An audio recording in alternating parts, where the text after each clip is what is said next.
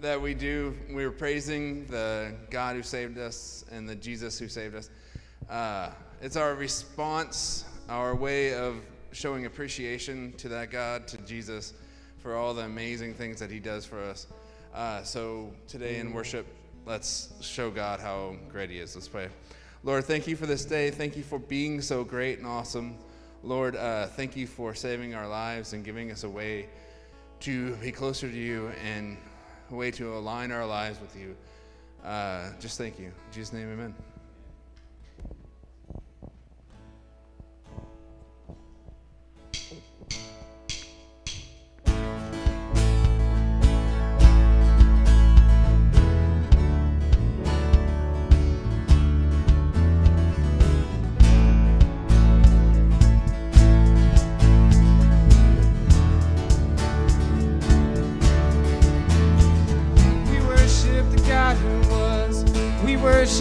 God who is. We worship the God who evermore will be.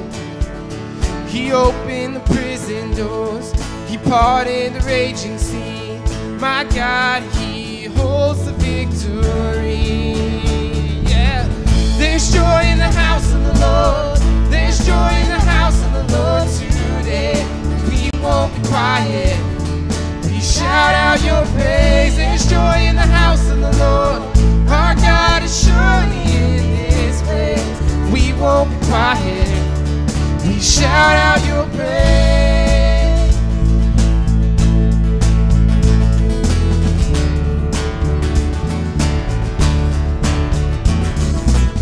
Sing to God who heals. We sing to the God who saves. We sing to the God who always makes a way. He hung up on that cross. He rose up from that grave. My God, still rolling stones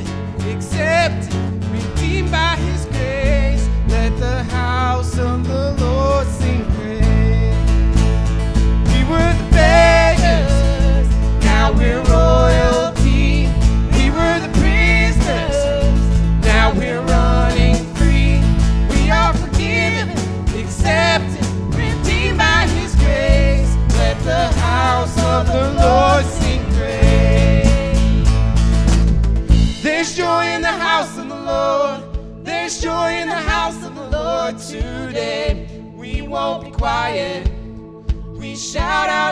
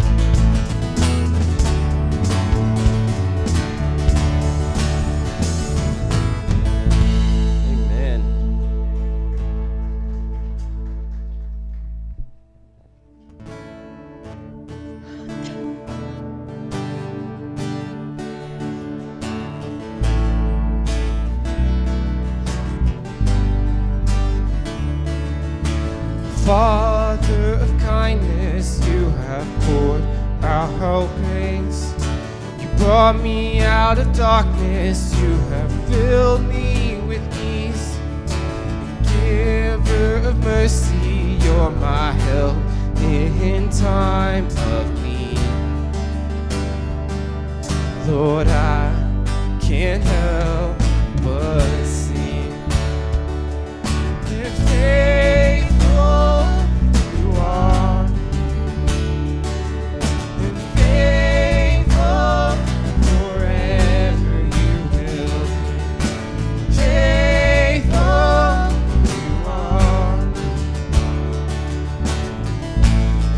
all your promises. Are yes and amen. All your promises. are yes and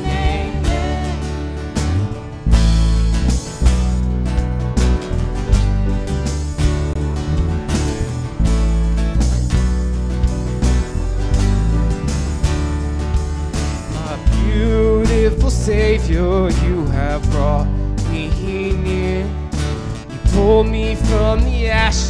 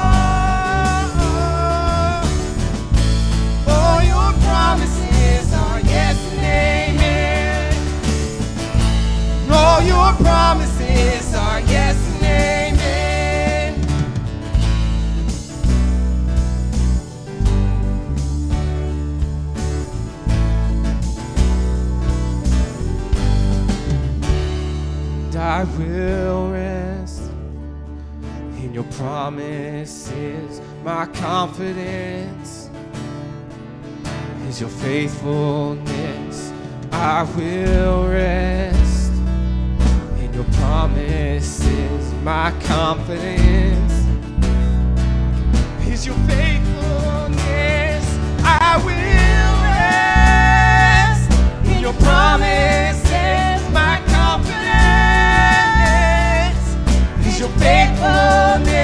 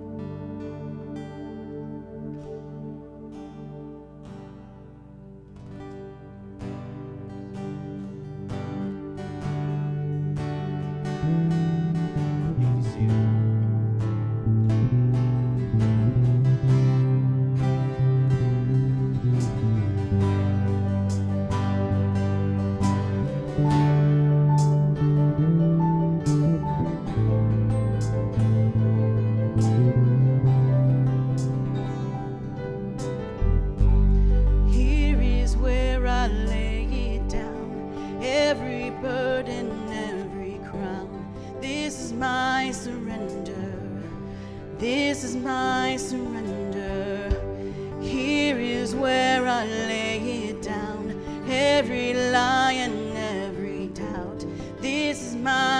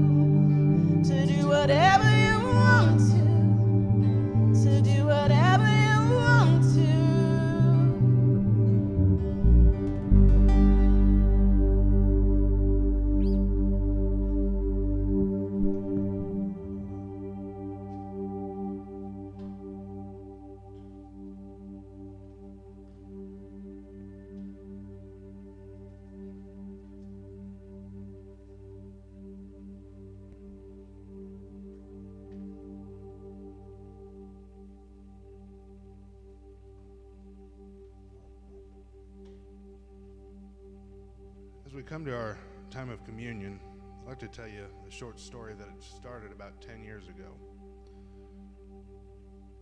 But before I do that, I want to read Proverbs 22 6, which says, Train up a child in the way he should go, and when he is old, he shall not depart from it. It was May 15th, 2011. That was the first time my family and I ever came to Southwest Christian Church. And we've been here ever since. We didn't know a single person when we first came here. We had never met Pastor Randy. We didn't know any of the deacons at the time. We didn't know anybody. And we brought Calissa in her pumpkin seat and sat back there in the back on the right. And we've been here ever since. She's been to this church all but almost two months of her entire life. She's 10 years old. That was over 10 years ago. Now, fast forward to today, I found out this past week that Calissa's been going to another church. Seriously, she has been going to another church. She and her friends started a virtual church that's by kids, for kids that are around her age. And she goes to it every night. This past week, I think it was Tuesday or Wednesday, they listened to three songs, they prayed, they gave an invitation to any of their friends that wanted to accept Jesus, and they had church. She was late for supper, but they had church. But I think that's a good reason to be late for supper. And the reason why I brought this up is because this church has helped raise Calissa in Christ. It's our job as her parents to lead her down the path, but this church has helped raise her and helped make her the, the person and daughter of God that she is today. And I wanted to thank this church for that. So as we come to our, to our time of communion, pull it out. The blood that represents the, the juice, the juice that represents the blood that was shed for us was shed for every man, every woman, and child. And the body that is represented by the bread was broken for every man, woman, and child. Now I'm going to look at the camera real fast. If you're out there in Facebook land or you're going to be watching this on YouTube and you don't have a home church, give Southwest a try. We love Jesus, we love kids, and we love you. So as we come to the time to partake of our communion, if I can get this open, let us never forget the message behind it and never forget what it means.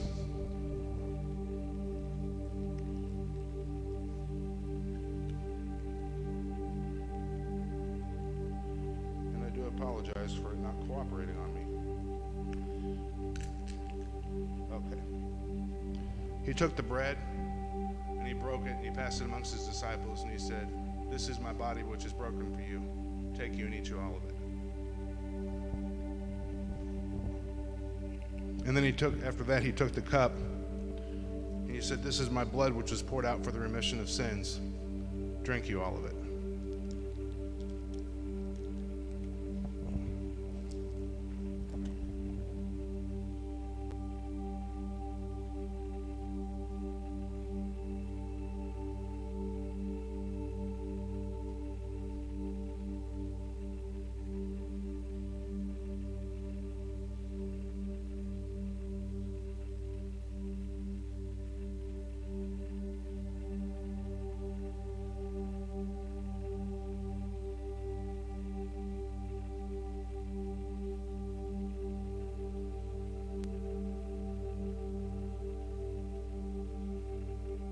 Pray for the offering as it comes around.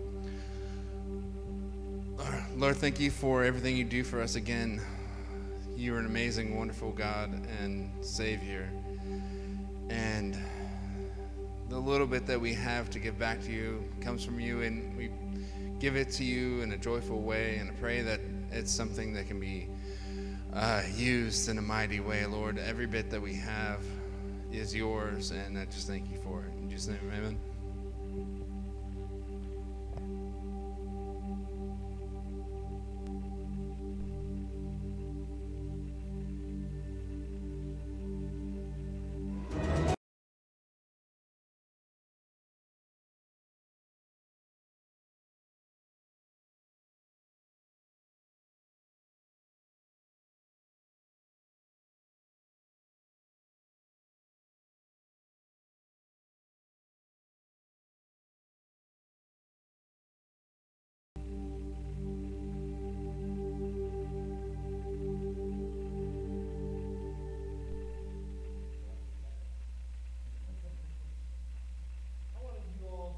This morning, I'm a Christian. Did y'all know that?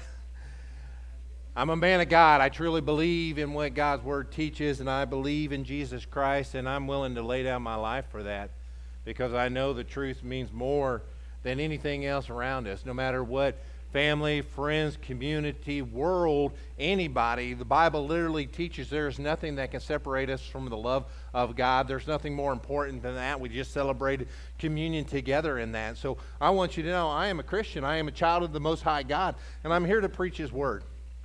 And today I want you to share in that as we do that together. I want to do a quick exercise before we pray. The reason I want to do this exercise is because I want you to understand, as a man of God, as a child of God, as a preacher, as a man that tries to put his whole life down for Jesus Christ genuinely, authentically, I, if you guys want to see my life, I would like for you to walk with me for 24 hours, to spend a week with me, because I want to authentically live every moment of my life for Jesus Christ. Is that where we're at today? With that in mind, I get up here Sunday after Sunday. There's been Sundays I've got up here to preach that I was on the mountaintops. There's been Sundays I've gotten up here and it's been the absolute worst week of my life. There's been Sundays I've gotten up here after I've lost a loved one. There's been Sundays after I've got up here to preach that I've been probably not feeling the best or sick.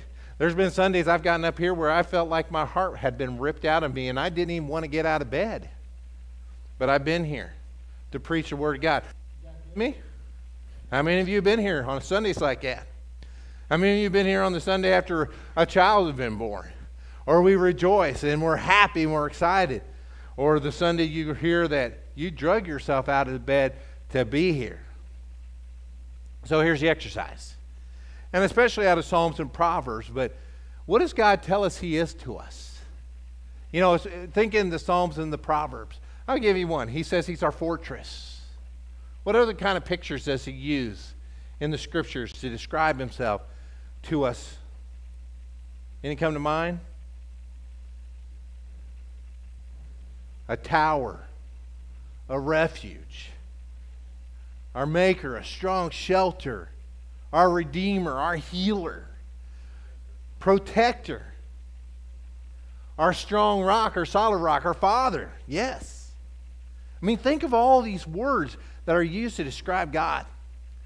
And no matter what's going on this morning with you joining to worship today in this time of the teaching of God's Word, think on those words. That's who He is to us. And we get the opportunity to hear His truth and His way of life for us, the right way, the truth. So, with that in mind, let's pray and we'll get into that study. Father, we give you the praise, the glory, the honor. You are so worthy of it. We know that you are the source of hope, life, truth. And this day we rely on that truth and we come to study that truth and we want to be a part. We want our eyes to be open, our hearts to be open. We want to learn from you. We want you, Holy Spirit, to lead, guide, and direct us. So, Lord, we're praying for the powerful today, the supernatural, that you, Lord God, would touch us and direct us, that your word, your truth, your Bible would continue to inspire and challenge us and direct us in life. We're your servants and we're willing to do whatever you want us to do. We want to make room for you. Uh, Lord, we want you to take over. So, Lord, direct us in that this day. Uh, we praise you, Jesus, for the price that you paid for us and for salvation. And then, Holy Spirit, we trust in you now as we go into this time of teaching. So, in your almighty name, Jesus, we pray. Amen. All right, so with some of these thoughts, looking at the screen here, how many of you have ever slept outside overnight? Anybody ever slept outside overnight? All right. I've done this a few times. And this picture up here that's kind of behind there as the sun is rising and that first light that comes, um, you know, I was thinking on this because when I was in high school, I was in Boy Scouts. I was an Eagle Scout, got to uh, learn a lot of things in that. Uh, but one of the exercises one weekend, I was in, in this group that they would challenge you. It is supposed to have been like this elite, more group of guys that was out there in these challenges. And uh, one of our exercises was one time they took us out in the middle of the campground area, this huge area, and they gave us a piece of plastic. And you had your backpack or your sleeping bag or whatever, but they said, here's your piece of plastic. Now go sleep outside by yourself, no one else around. Well, if you've ever experienced that, you know how it is to sleep through the night outside. Uh, you hear the squirrel, you think it's a mountain lion. You know, uh, raccoon or whatever, you think it's the, the army of the dead coming to get you. Whatever the case is, you know. And so I spent my night outside, weeds and about this high, you know, so I had to smash it all down, uh, that kind of a place. And I remember this vividly, you know, to see that first light of the sun. Praise the Lord this morning, you know, and you can see, oh, it was that squirrel. You know, it, oh, you know, it was these little things that were bothering me. Um, in this world we live in, and everything that's happening so rapidly around us in our culture, the things we were hearing on TV, social media, friends, family, workplaces, you know, we see the sign up here in in the corner that says lost, confused, unsure, unclear, perplexed, disoriented, bewildered. You know, we're looking for that light. We're looking for that first sign of dawn, you know, that the Lord has come to have clarity. Isn't that what we're doing in this place today? We're here to praise Jesus Christ, but we're here for clarity.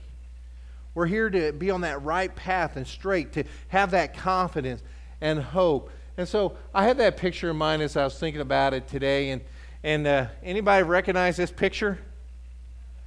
I can't remember how many months ago this has been, but we went through this series a number of months ago where we talked about driving the bus. And we talked about who's driving the bus. Literally, your life, who you are, who's driving the bus. And you know, I've really been thinking on this this last week because there's been a number of conversations with family, friends, things I've seen on social media where it's like, how in the world are you coming to these conclusions of life? Who's driving your bus? And here's some of the results I've seen over the last few weeks friends. A lot of times, when truth is supposed to be in the driver's seat, it's really our friends that's in the driver's seats. Praise God, you know what Adam was saying with Calissa that her friends are seeking God together. Awesome. But I'm here to tell you, as your pastor, your preacher, and your friend up here today, a lot of you, your grandchildren, your children that are in school, things of that nature, God is important to a lot of those kids, but it's their friends that have taken over the driver's seat, and we need to be aware of this. And we need to be the ones pointing back. We got to have truth in that driver's seat. All these things up here our feelings, our family, our work, our friends, our experience these things are okay. They're going to shape us and they're going to uh, affect our worldview of things.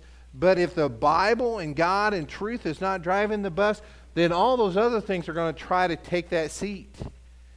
And if those things take the seat, you're not going to be on the right path. That's why it's so crucial for us in this house that we get the Bible in us. This last week, one of our elders in this church said to me that he was about to wrap up the Bible reading for the year. And I was a little perplexed at first because I was like, well, now wait a minute. We're supposed to be doing this together every day. We're supposed to talk these things over. And then I thought to myself, Steele, you're a moron. We're in such trouble there's such things going on in this society right now.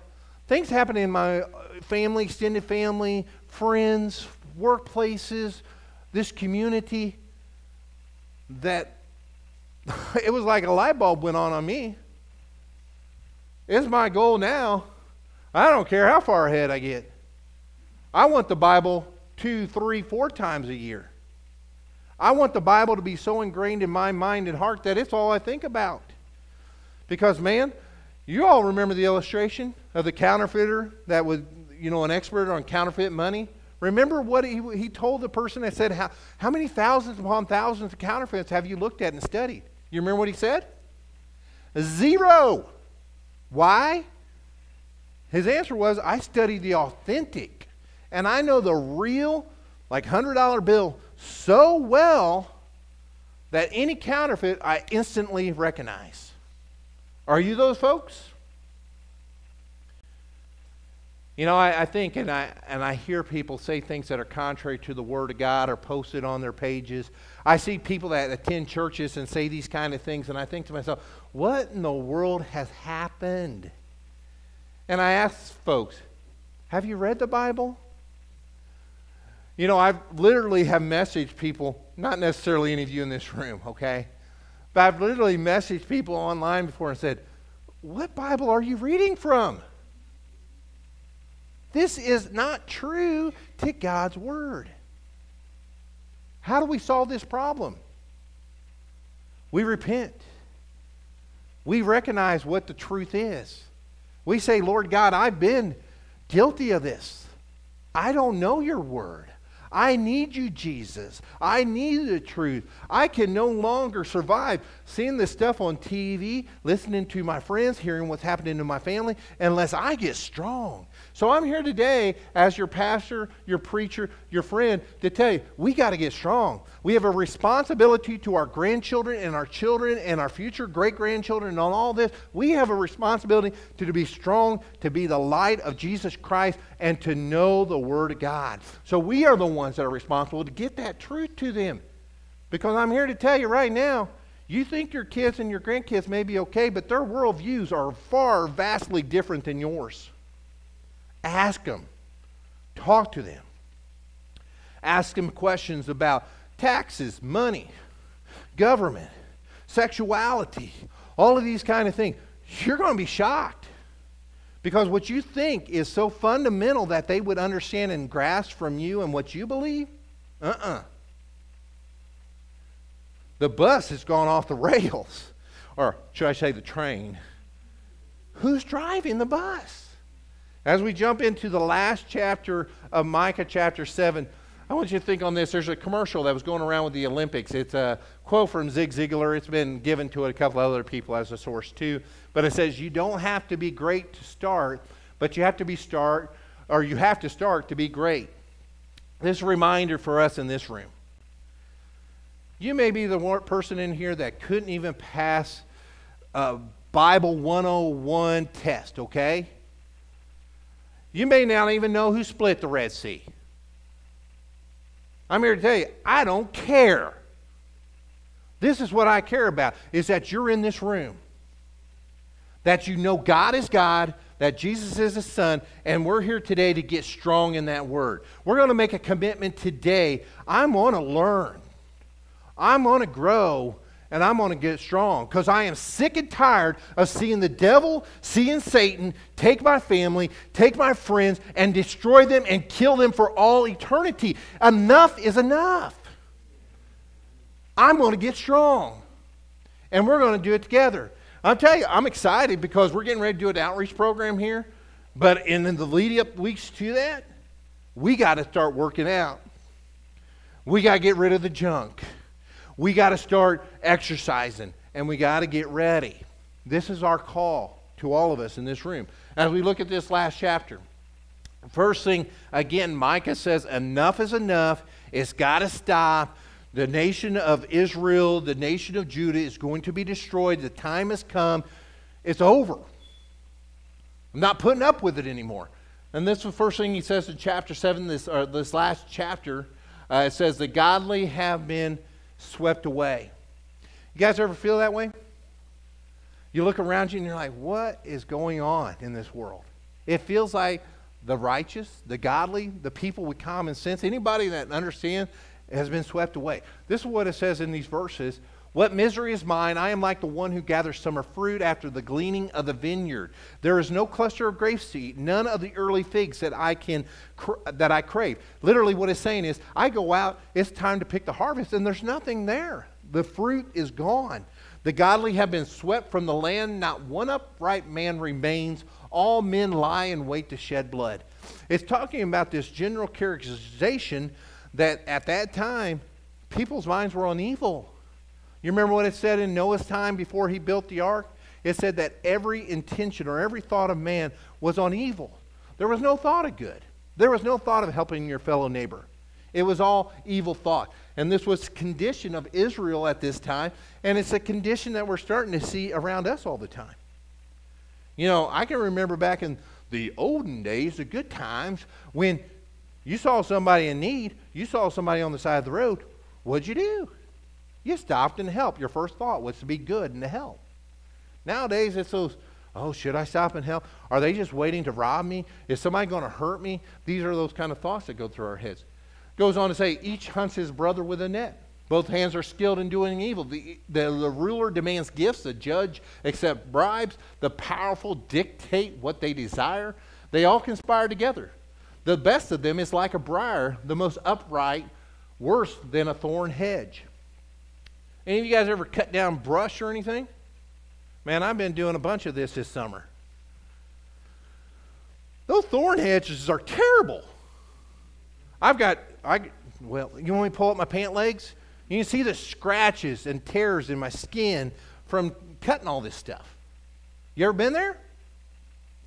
And yet, what is the description that it uses in the scripture here? Why do we have this picture? It says that the best of the people, the best of the people in Israel at this time, the best of the Judeans, were like a thorn hedge. Wow, that's a great description, isn't it? Hey, you know what? I've got grandkids, and my best one is as good as a thorn hedge. That's never a description you would use of your kids, right? Hopefully not. And yet, this is a description we have of God of his people, his chosen people, the condition, how bad things have gotten. Goes on. Second part, and this is the one that is the kicker it's time. The time, as we see in the picture here, the time's up. The hourglass is over. The sand has dripped through. It's come, and the time of judgment is upon this nation. The time of uh, collapse, the time of them being carried into captivity has come. And this is what it tells us. The day of your watchman has come, the day God visits you. When it talks about the watchman, what it literally is saying is that the prophets, the one that have proclaiming that these things are going to happen unless you repent and turn back to the Lord. Even all the way up to this time that we're reading about, God was literally saying, even at this very moment, if you would just confess, turn your life over me, follow my ways, none of this will come. But they wouldn't do it. So he said, The time is up. Enough. It says here, now is the time of their confusion. Do not trust a neighbor. Put no confidence in a friend. Even with her who lies in your embrace, be careful of your words. For a son dishonors his father, a daughter rises up against her mother, a daughter in law against her mother in law. A man's enemies are members of his own household. Again, talking about the condition of things. And a lot of you are probably sitting in this room going, oh man, this kind of sounds like what's happening around me today. Is it not? Now, hopefully, we ain't to the condition that we are here. They're still good people. You know, every once in a while, blow and behold, somebody will hold a door open. Every once in a while, I find myself in trouble. Someone comes along to help. Praise God. That's great. There's still some good people. But the condition of Israel and Judah at this time, it was terrible. Not to say there wasn't those people, there was always the remnant of God's people, but the nation as a whole had turned to this. You couldn't even trust the people in your own house, your own wife. This was the condition of the nation. Now, that first section, these first six verses, doesn't that sound awesome? Anybody want to write some Hallmark cards now? But we jump into verse 7 and this is the one that we're all about in this room. I'm loving this phrase anymore. And it's this phrase, but God. And you know, we watched the news this last week. We see everything in Afghanistan going completely south. We see the nation of Haiti being destroyed by earthquakes once again. We see all these terrible things in the news. But my friends, I ain't going to sit around and go, oh, woe is me. Oh, no, I better not leave the house today. No, when I see a news report like that, I'm going to say, uh, but God. And if they make it illegal for us to meet here in church, and they come and arrest me for preaching the Word of God or telling the truth, I'm going to say, uh, but God. Because God is bigger than that. God is stronger than that. God is righter than that. Never, ever forget it. And this is what it says. 7, verse 7. But as for me, I watch and hope for the Lord. I wait for God, my Savior, my God will hear me. Do not gloat over me, my enemy. Though I have fallen, I will rise. Though I sit in darkness, The Lord will be my light. Because I have sinned against him, I will bear the Lord's wrath until he pleads my case and establishes my right. He will bring me out into the light. I will see his righteousness. Do you hear what's being said there? No matter how uh, terrible things get, how difficult things get, God is still God. And we can say that phrase, but God. And even in the midst of what Micah writes here, he says, I may be down, but I'm still with God.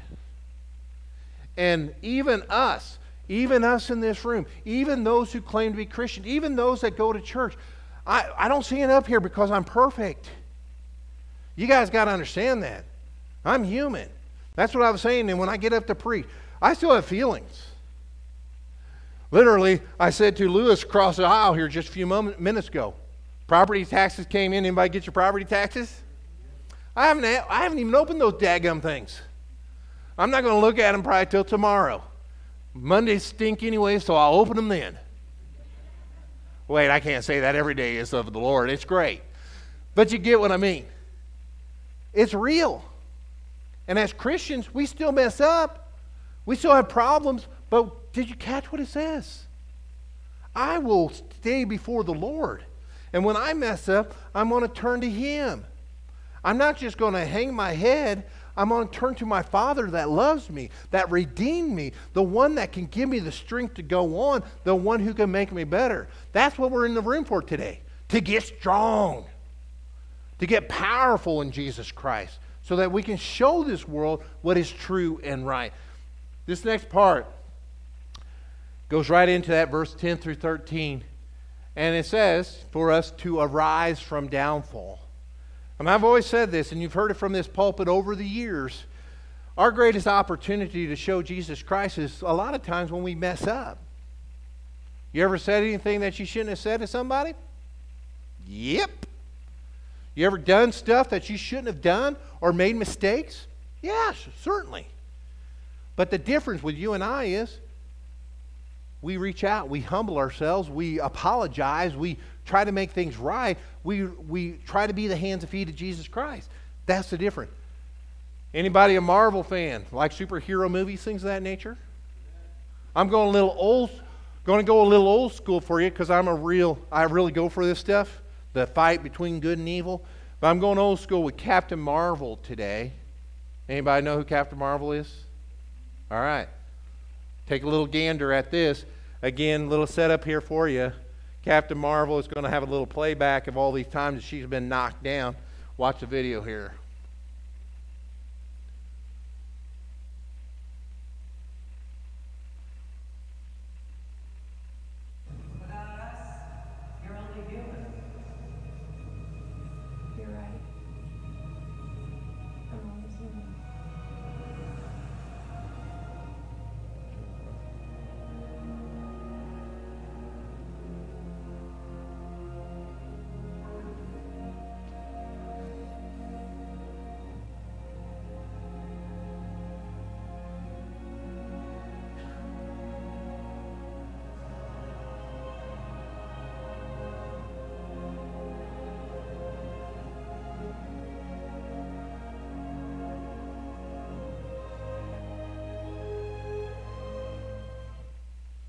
All right, that's my favorite clip from Captain Marvel. If you haven't seen it, it's Captain Marvel, the movie. And any of you that are Marvel fo- or followers of that kind of stuff, I still don't understand why Captain Marvel just can't beat everybody out there. I mean, she is like super powerful. All right, anyway, that's a side note. Point being, the reason that's my favorite clip is because it shows her after she's been knocked down, she's been made fun of, she's been in an accident, but she gets up and tries again. This is the message for us Christian people. You get knocked down, you get discouraged, you, you, you hear statements about, hey, you need to be in the Bible, and you're thinking to yourself, well, I'm two weeks behind in my Bible reading. Man, I feel like a total heel. So what? Today is the day. We get up. If we don't get up, we ain't going to be strong. We got to get up. We got to force ourselves. We got to discipline ourselves. That's what we're here for. We talk about this outreach program coming up September, I believe it's 12th. and we're talking about getting the whole family involved in that and doing this stuff, we need strong people. And I want every one of you to be strong. This is what it says in the Word. Then my enemies will see it and will be covered with shame. She who said to me, Where is your Lord your God? My eyes will see her downfall. Even now she will be trampled underfoot like mire in the streets. The day for building your walls will come, the day for extending your boundaries. In that day, the people will come to you from Assyria and the cities of Egypt, even from Egypt to the Euphrates, and from sea to sea, and from mountain to mountain. The earth will become desolate because of its inhabitants as a result of their deeds. The statement that Micah is making is that even in the midst of Jerusalem, Judah, Israel's demise, that God will return his people and Israel will once again be established, that they will grow strong, and that the people, the other nations, are going to see it. Now, there's a little statement here in verse 13. It says that the earth will become desolate because of their inhabitants as a result of their deeds. What is that a statement to? Again, it's to the justice of God that he doesn't just overlook sin. Matter of fact, we read in Hebrews today in Sunday school that uh, for those that have claimed Jesus Christ, that to deliberately continue on in sinful lifestyle or continue to go about in sin, it can't be. Where is there any sacrifice or mercy for that?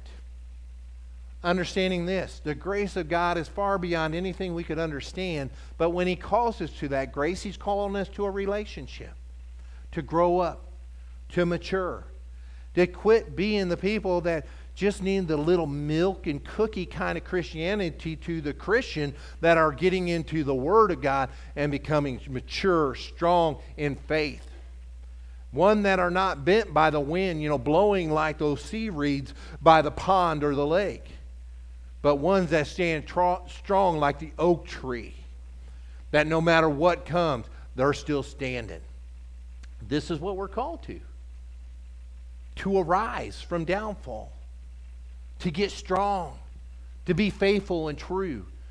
That no matter what, I'm going to be here, praising and worshiping the name of Jesus Christ. Oh, one quick backup there, verse 13. Any of you ever heard this campaign to save the earth, to save the planet, all those kind of campaigns? Do you realize that's not what those campaigns are all about? Did you know that? It really should be to save ourselves or to save our hides. The earth is going to continue on.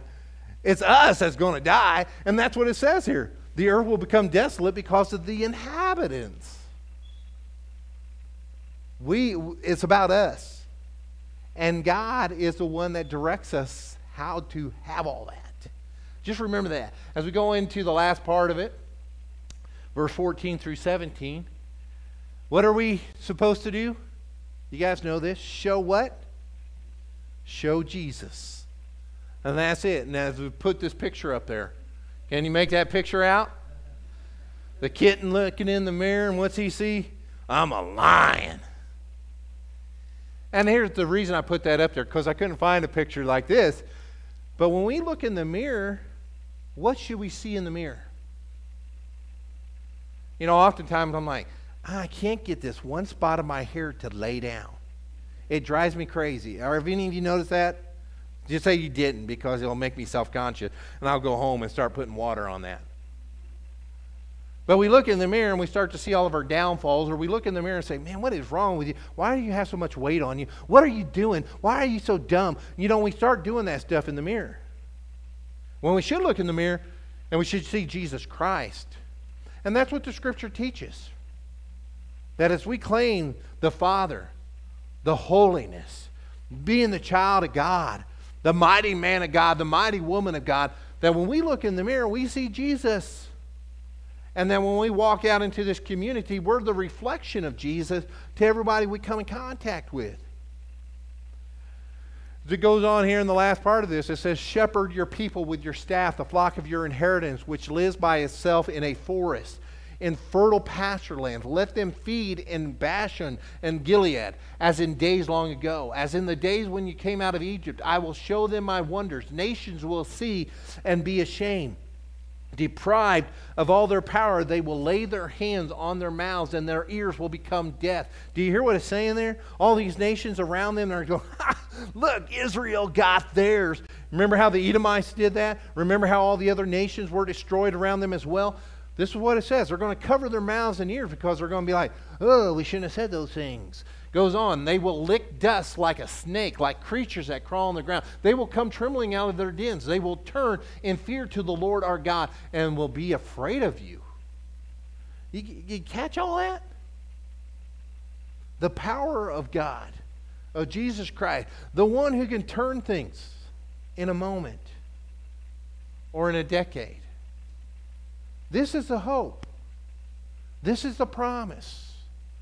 As we read in Sunday school class today, the promise of the one, our Savior, our God, the faith that we have in Him is what holds us to be unswerving in our faith. When everybody else in this world says something is right and we know biblically it's not, we don't join in. When everybody else says this is what we should do and the Bible says not, then we don't do it. I just was finishing up uh, Jeremiah here the other day. And when I read the end of Jeremiah, do you know what's in there? It's talking about the last few people that are living in around Jerusalem after all this warfare has happened and after the city has been destroyed. They've ripped down the walls, they burnt the temple, and these people are kind of left in the open land. And they come to the prophet Jeremiah and they say, What should we do? Let's go to Egypt. Maybe they can protect us. And they said, You know what, Jeremiah? anything you tell us from God, anything you pray, we're going to do it. We're God's people. We will do whatever He asks us. And so what happens? Jeremiah prays. Ten days later, he gets the answer.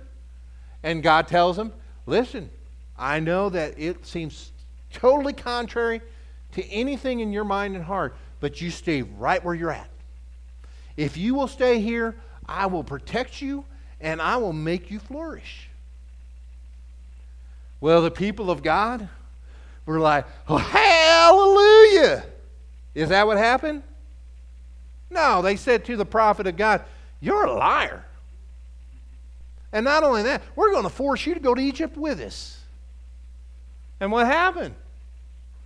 Well, Babylon, the king Nebuchadnezzar, the one that caused all their troubles in the first place, he comes to Egypt.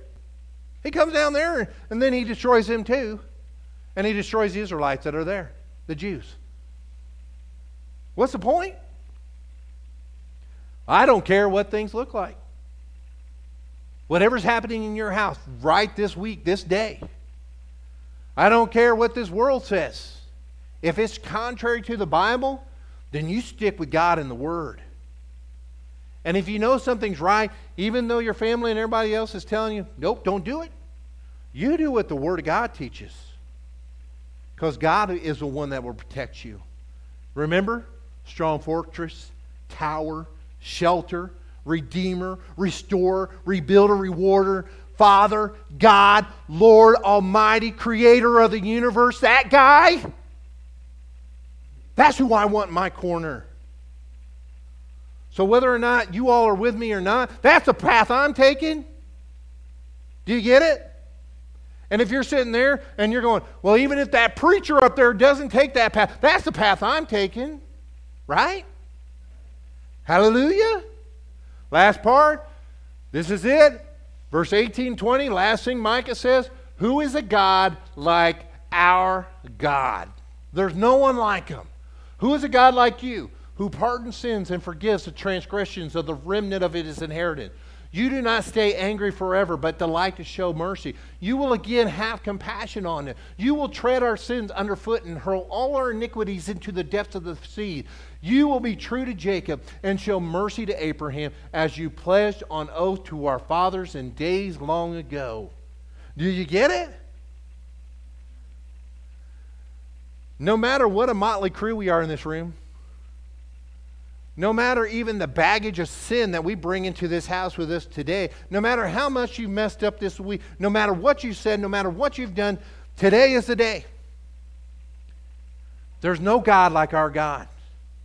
Get right and straight with Him, get on the right path, and trust Him.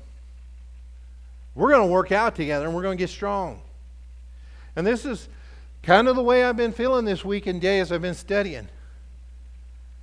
You may see and you may watch church services and you may attend church services and things like that. We're not going to leave any sheet or blanket up in this church. We're not going to tread around the truth or we're not going to, you know, try to uh, spoon feed you baby food. We're going to teach you how to be strong and powerful in the name of Jesus Christ. The Bible is our path and our guide to what's right and true. So we're going to get strong in that word. You guys for that? How many of y'all like baby food? We'll throw in some reminders here and there. All right? Quick review for you. Today we looked at the godly have been swept away. A lot of us feel that way. Uh, I know I sometimes am absolutely overwhelmed and floored, and my heart just breaks seeing how things have so quickly changed in our culture. Uh, it's time.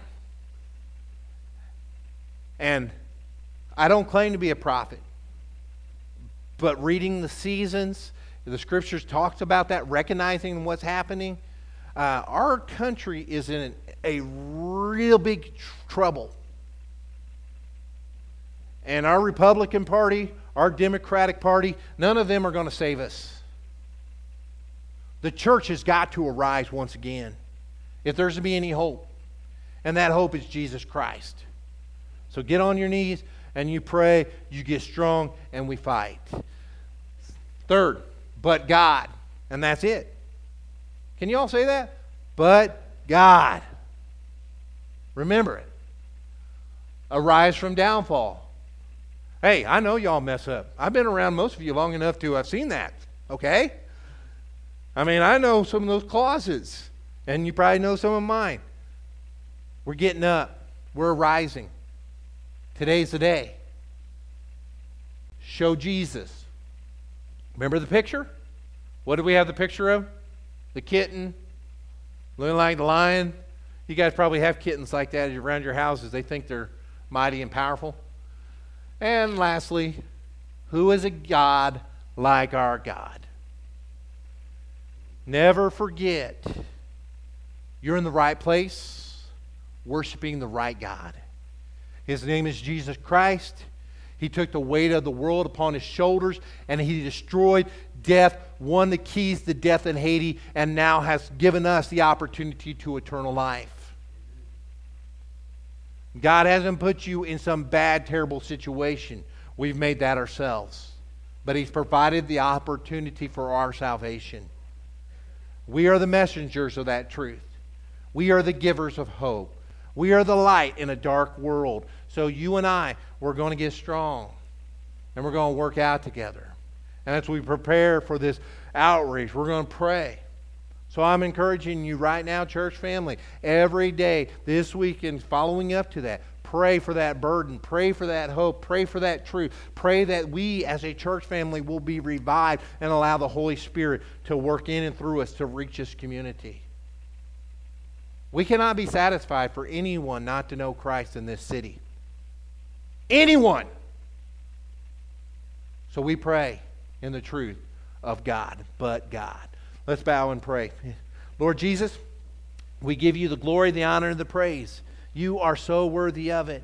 And Lord, we know a lot of times our lives look so messed up and there's so many things going on and we're so contrary to what your word teaches that we need you desperately to clean us up, to wash us, to make us new and fresh, to revive us, that we will walk in your way and your truth, that we would be filled with the Bible, the truth of your word, that we would discipline ourselves. Lord, I pray for the spirit of the hunger of the truth of your word to be on all, each of us.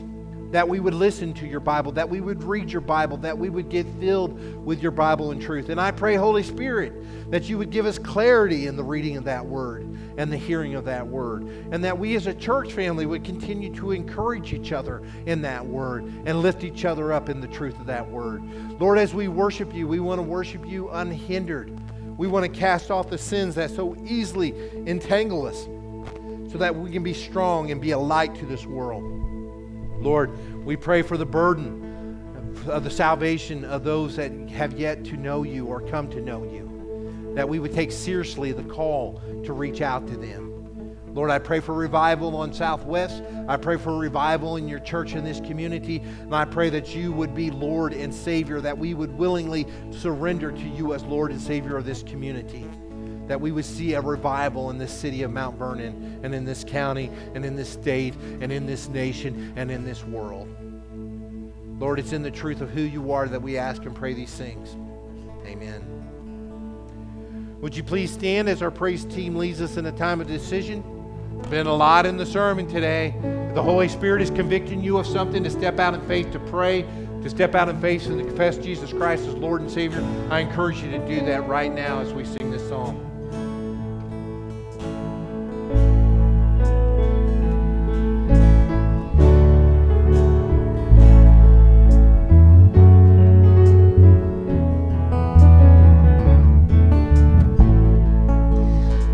the king of my heart be the mountain where I run, the fountain I drink from. Oh, he's my song. Let the king of my heart be the shadow where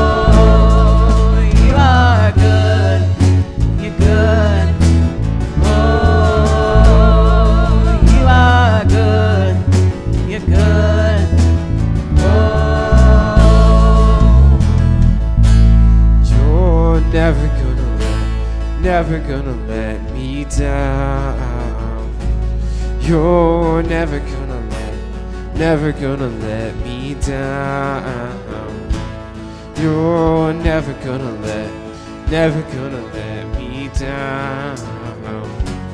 You're never gonna let, never gonna let me down.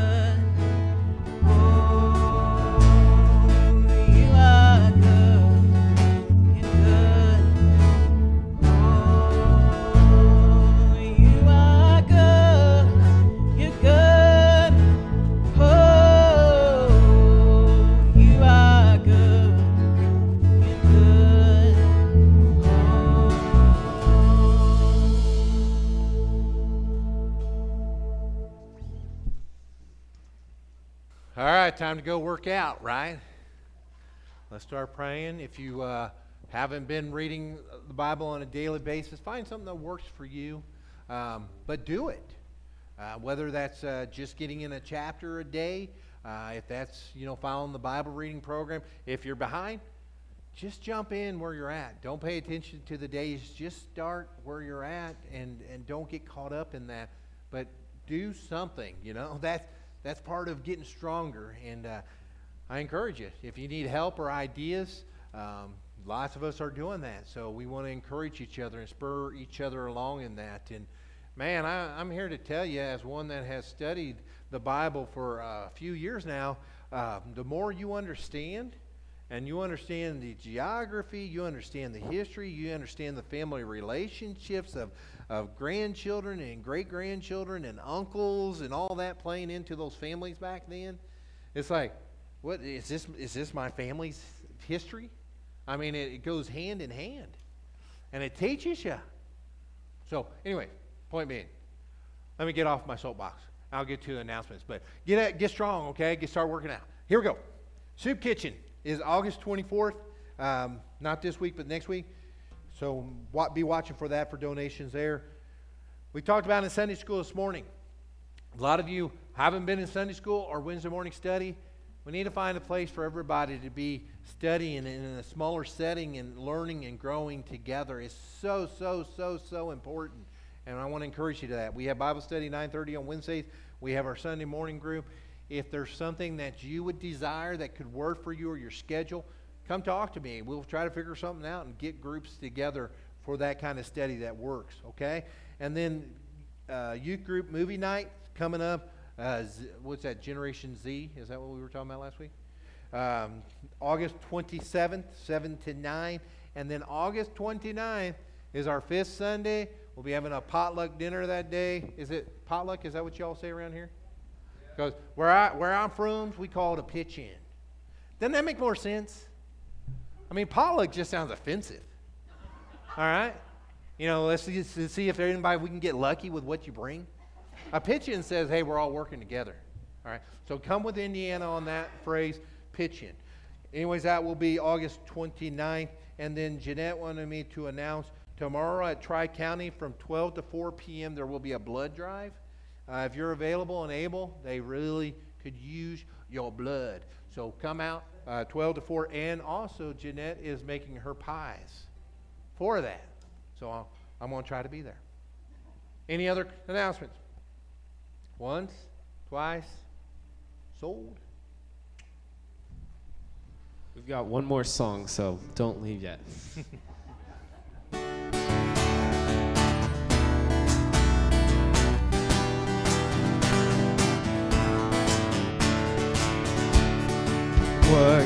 Can wash away my sins?